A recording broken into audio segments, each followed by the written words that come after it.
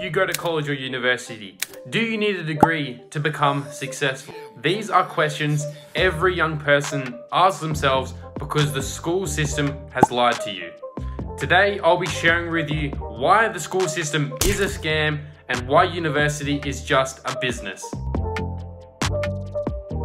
Now, university, they teach you the past, they teach you already what's not working, and it's just outdated information.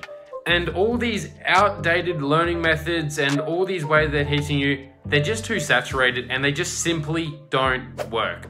And one thing that I hear all the time people say is that you need a degree to get hired. I don't have a degree, I've done over a million dollars in sales. But I do understand if you're going to university to become a doctor, a lawyer, an accountant, a nurse, anything high level like that, I completely understand why you have to go to university and I have nothing against that. But again, those degrees that you are getting, you're still going to be stuck in the matrix. You're still going to be working, you know, that nine to five, if not more, using those degrees. So eventually, you're still going to get unhappy. You're still going to be getting that repetitive work in. You're still going to have that boss to listen to. You're still going to have to show up on time to work at this time. And if you're a doctor or something like that, you're going to have to be on call for some doctors and everything like that. And what kind of blows my mind is that I was at school for around 13 years and I didn't learn anything helpful, hence why I dropped out of school. I've never used the Pythagoras theorem ever since I left school, and I never will need to use it either. And the sad reality is that schools are creating slaves. School is just programming everyone to become slaves to society. They teach the exact same information the exact same way to everyone. And their vision of success is terribly gauged by their letter grading system. And really, it means nothing. And the reason why it means nothing is because you've been tested on stuff that doesn't even matter. Another thing that a lot of people talk about is that by having a degree, it's good to have something to fall back on. And my personal opinion on that is that I think degrees make people soft.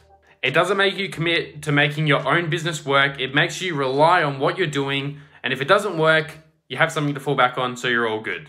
Now, take your take on that. I think that if you are committed to something like, you know, starting your own business, you're gonna make it work. You're gonna put the work in. You're gonna be like, if this does not work, I'm screwed. And that's the good mentality to have. And if anything, I promote falling forward, not falling back. Fall forward, learn from your mistakes, get onto another business if that didn't work out. Keep going, keep falling forward, never fall back, always fall forward. Another thing that a lot of people talk about is that university is going to give you a good work ethic. Now, I don't want to be judgmental here, but most people that I know that have gone to university are simply doing it just to get away from family or just to have a four year vacation of fun. And that, by the way, you can have fun. You can go to parties all whilst running a business. They're much similar.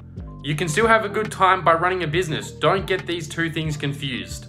But yet, there are still websites out there that are saying that university will give you good work ethic. And when I heard that, I'm thinking, what, a strong work ethic of a nine to five? A strong work ethic to make your boss rich so then he gets the gold and you get the pennies? They're making slaves, and unfortunately, it's a sad reality. They want you to have a good work ethic so you work hard and build their business up, and you're still only gonna be paid however much you're getting paid by the hour, and they're gonna keep you at that job by giving you a pay rise. That's a good incentive for you to stay there. It's smart. It's just true. Unfortunately, university are creating slaves. Another thing that I hear all the time is that university will earn you more money. Now the stats actually back up university on this. If you go to university, statistically, you're gonna make more money than the average person that doesn't go to university. Because that fact is told, more smart people actually start going to university. So statistically, the smarter the people that go into university, they're gonna go through the system and they're gonna start earning more money, which makes sense. Now, if we ran an experiment where none of those smart people went to university, they just started their own online business, or any business in itself, whether it's physical or online, the smart people that didn't go to university would most probably still make more money than they did by their own business. You see, the stats about that university will make and pay you more money, it's skewed to try and make it seem like university is a good investment.